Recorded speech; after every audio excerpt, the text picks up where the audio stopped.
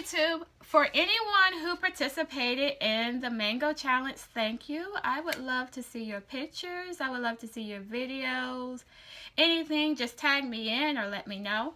But I only had one mango that I was successful with, and this is this is it right here. It's beautiful. It's very strong. Um, beautiful leaves. The leaves started out with a red tint to them. Now they all just look green. Um, it's got a lot of activity going on at the top, so I'm expecting a lot of growth.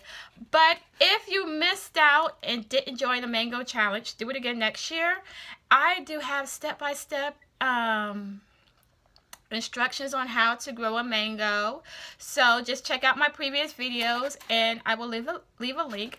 And get one last look at my baby. All right, y'all. Thank you.